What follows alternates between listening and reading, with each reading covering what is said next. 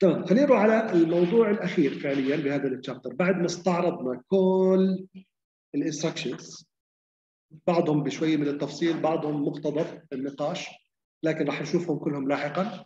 آه، خلينا نروح على آخر موضوع. آخر موضوع له علاقة ب writing ال programs يعني إحنا حكينا كيف بكتب assembly program عادة بجيب microcontroller لل PIC microcontroller راح أجيب الكمبيوتر تبعي اللابتوب أنزل عليه البرنامج الخاص بهاي ال microcontroller اللي اسمه ال MPLAB تك تك افتح file اكتب ال code بال assembly جيب ال instructions اللي بتحتاجهم حطهم بعدين بتكبس كبسة بتقول له build ولا compile ولا assemble بغض النظر وبيعطيك هو إيش؟ إذا ما عندك errors بال instructions اللي كتبتهم بيعطيك إيش؟ binary بيعطيك file فيه binary code لل instructions تقدر تاخذ هذا ال binary code وتنزله وين؟ على ال microcontroller تحمله على المي program memory تبعت ال microcontroller فهذا ال part من هذا من ال chapter بيعلمني آه، كيف استخدم كيف أكتب البرامج آه، آه، باستخدام وكيف أستفيد من بعض ال features أو من ال features اللي بتيجي مع ال assemblers ال assembler بكل بساطة هو البرنامج اللي بستخدمه حتى أكتب الكود وحتى أحوله بعدين لل machine code فهذا بحكي لي هون عن ال assembler details ففي الحالة ال assembler اللي بدنا نستخدمه إحنا في ال lab وحتى هون في المادة لما لازم نشتغل على ال project أو ال assignment بحكي لي أنت فعليا شو بتسوي بالبرنامج تبعك؟ تكتب إيش؟ instructions وكل instruction بتاخذ سطر تنكتب على سطر. فمثلا زي هون BSF STATUS 5 move literal كذا. آه، طبعا هون هي شوف binary إنه أنا بعطيه ال value على شكل إيش؟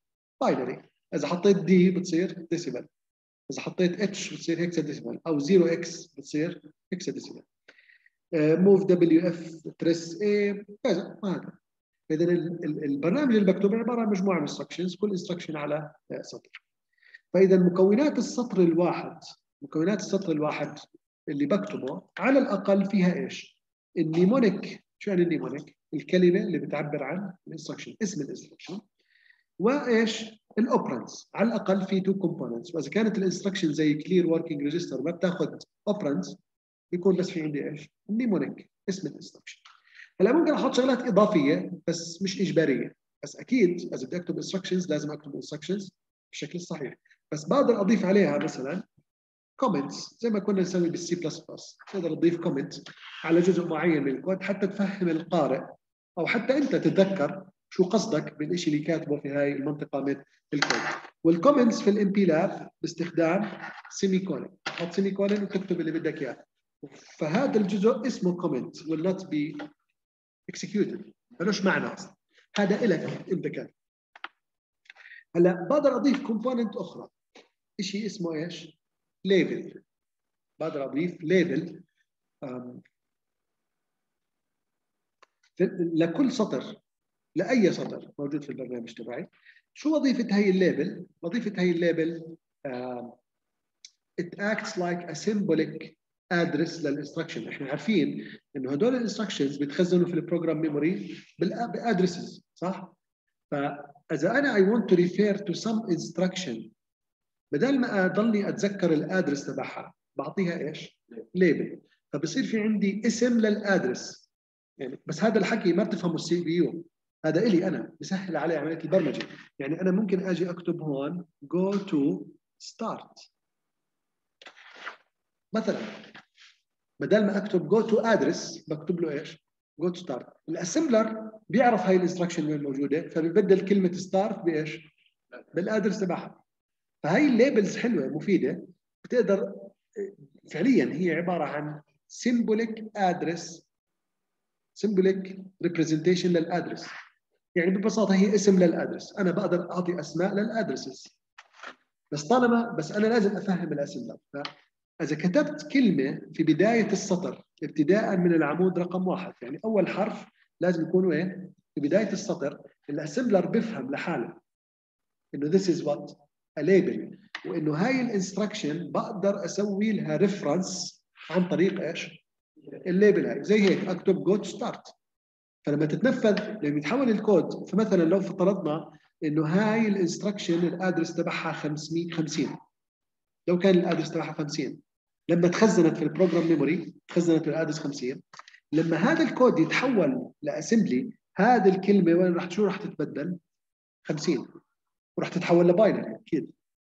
تمام؟ فال labels مهمة جدا بتساعدني إني أكتب الكود تبعي بكل أريحية بأريحية أكثر بالذات اذا بدي أتنقل خلال تنفيذ البرنامج كتابة البرنامج بدي أنا انطلق go to كذا go to كذا بدل ما اضل بتذكر ال address بتذكر مين؟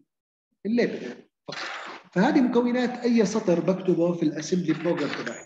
أكيد لازم تكون ال instruction بال opcode تبعها وبال operands إذا كانوا موجودين.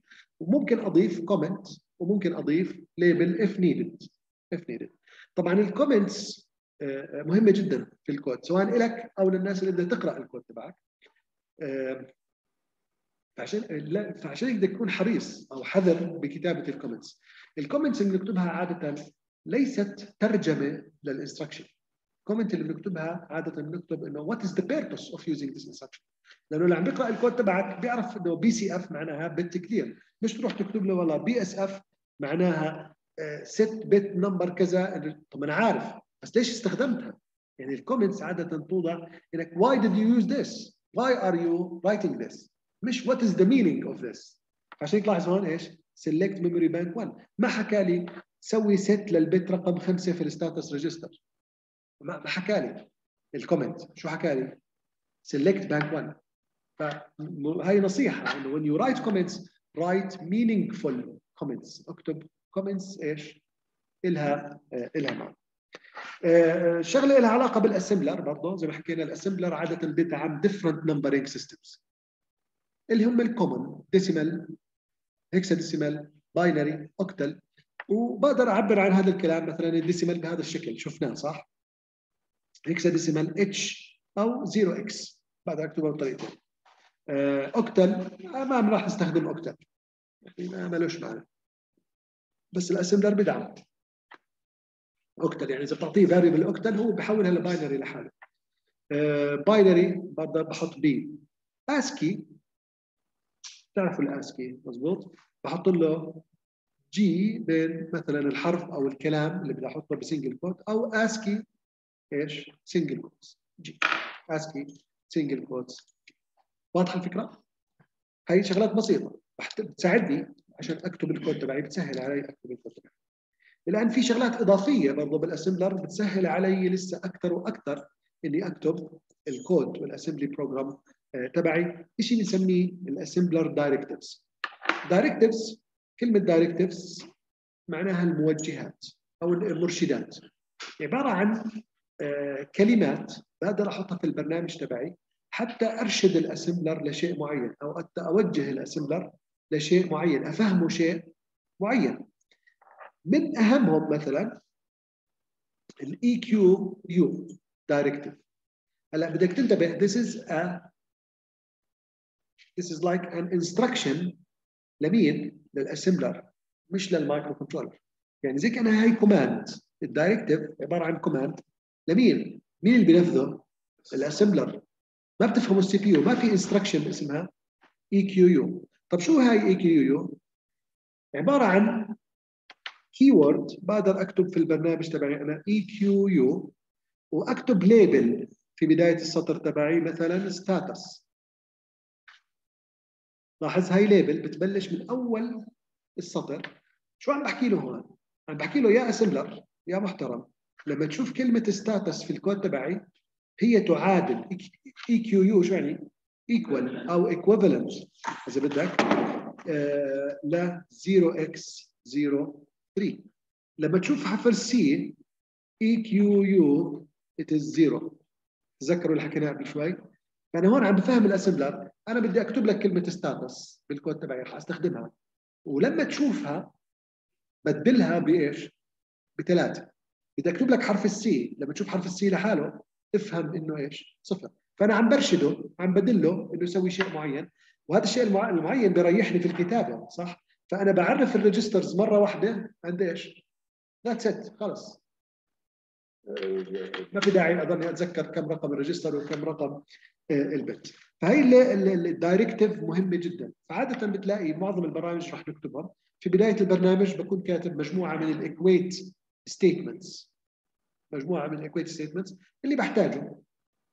بعرف الأشياء ال labels اللي بدي أو ال values هذه هدول زي إيش؟ زي ال define تذكروا الديفاين بالسي بلس بلس كنت أعرف constants زي هيك فهذه ال EQU directive مهمة جدا وضرورية.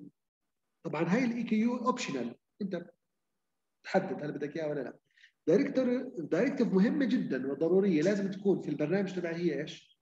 ال end directive يعني أنا بروح بكتب برنامج فيه instructions بس لازم أحط هون إيش؟ end في النهاية طبعا هاي ال end لا تعني إنه end the program execution صح؟ لأنه مين اللي بيحدد نهاية تنفيذ البرنامج؟ ال microcontroller مش ال assembler طب شو هاي ال end؟ end what؟ end the assembling process يعني لو أنت كاتب instructions بعد ال end ما راح يتحولوا ل binary ولا راح يتخزنوا في ال program فال end هي عبارة عن directive بتفهم ال assembler when to stop عملية ال assemble عملية التحويل لإيش؟ ل binary هي النقطة مهمة جدا راح نضلنا نحكيها الطلاب بلخبطوا end معناها خلص بخلص تنفيذ البرنامج في عندنا حاله two modes تتذكروا حكينا عملية writing and assembling لل program وعملية executing لل program executing لل program مين بيسويه؟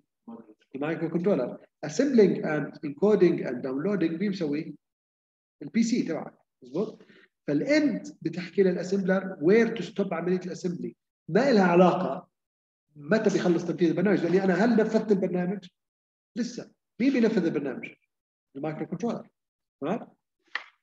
فهاي إذا ما بتحطها ال assembler بيعطيك error بقول لك missing end statement أنا مش عارف وين أوقف عملية ال assembly. مش شايف وين أوقف. تمام؟ فهي this is a must. This is optional.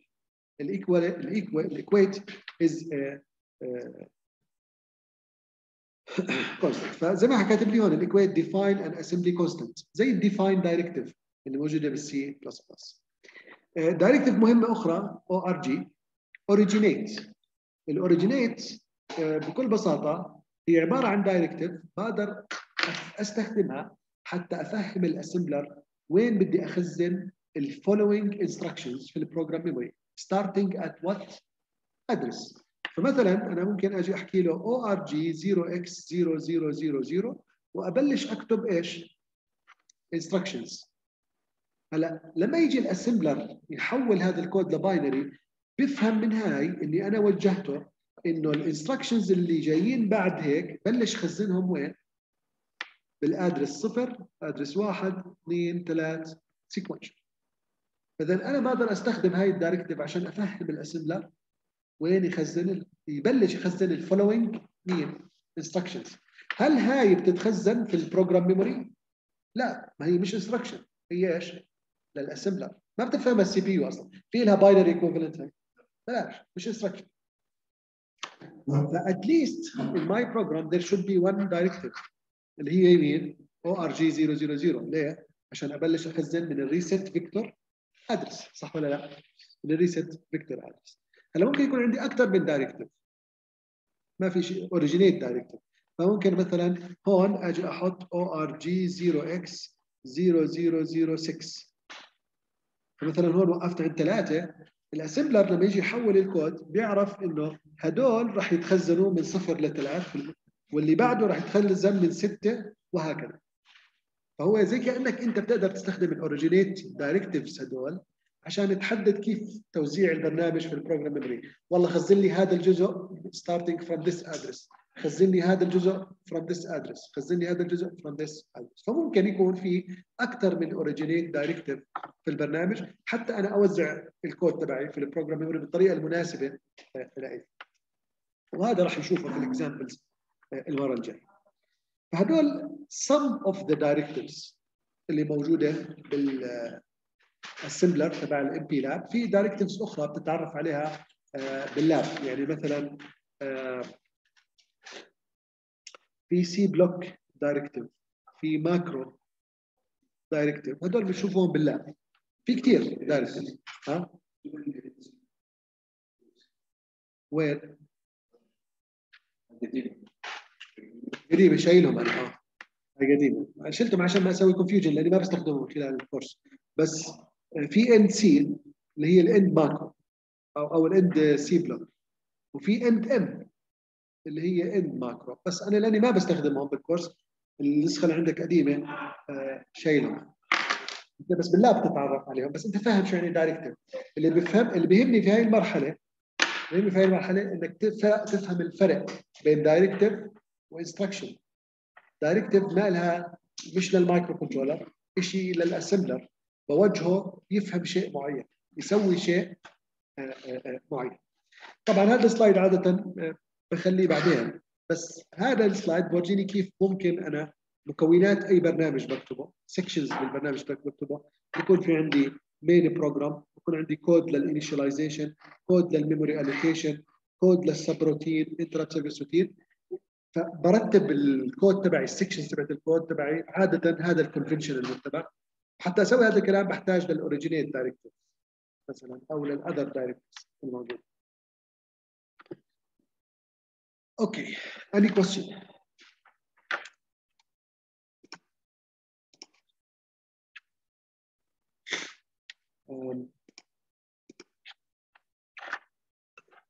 هو هذا البرنامج سهل بس راح أخليه للمرة الجاي. آه، في عندنا آه، واحد. في عندنا 3 examples كأنه. آه، شو في عندنا sample 1 two programs بسيطات وتافهات. نشرحهم المرة الجاي عشان تكون الصورة متكاملة. إلا لازم تعطوني ربع ساعة. ربع ساعة كثير. فلا خلص. المرة الجاي إن شاء الله الأسبوع الجاي بنبلش نحكيهم. يمكن محاضرة بالكثير. نشرح ال two examples مهمات هدول ال two examples على بساطتهم لأنه بيعلموني ال structure تبع ال program بشكل any question طيب خلينا ناخذ غياب الشباب اللي اونلاين دخل واللي بالقاعه اعطيني رقمك انت وطالع yes خلص سكر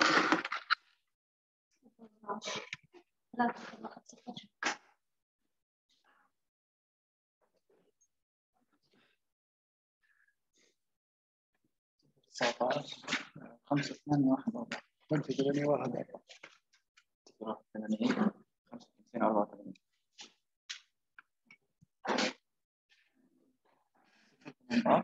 ثمانية صفر ثمانية صفر ثمانية تسعة اثنين تسعة خمسة